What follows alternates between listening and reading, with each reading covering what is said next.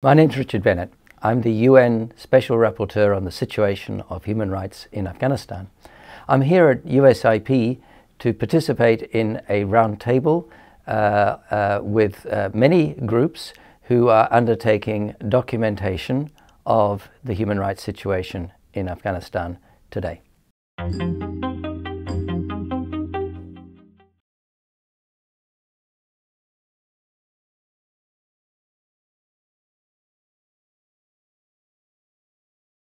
Since the Taliban uh, seized power in Afghanistan in August 2021, the human rights situation has deteriorated sharply and causes a great deal of concern. In particular, the situation for women and girls is dire, catastrophic. Uh, their rights have been more or less wiped out. There are also other marginalized groups whose rights are causing concern, in particular minorities and children. We know as well uh, on the, in the area of civil and political rights uh, that there are extrajudicial killings, uh, there is arbitrary detention, torture, and enforced disappearances.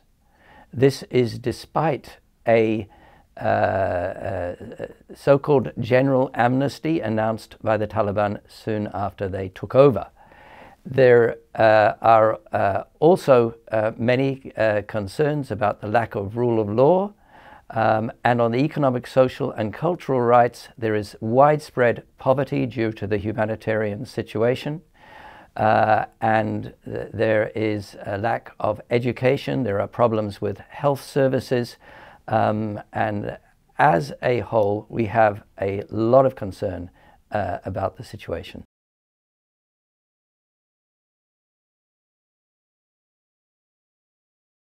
Documentation is the first step. It's the, uh, the, the grounding of all the rest of the work to bring those who are responsible to account.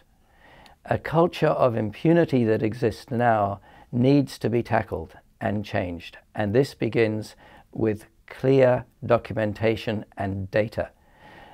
Uh, this can be used uh, in, in future uh, criminal accountability, but in addition to that, there are many other forms uh, of accountability.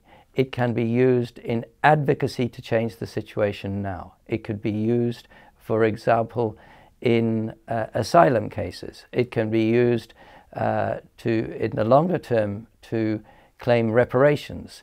This documentation needs to be victim or survivor centered.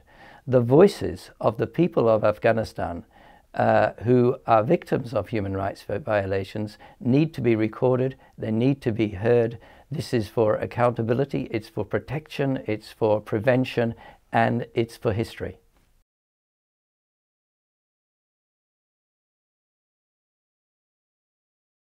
My role is Special Rapporteur. That means I report to the United Nations and publicly on the human rights situation in Afghanistan. To do that accurately, I need good data. I have my own team, but I'm also encouraged to work with partners who have uh, high quality data.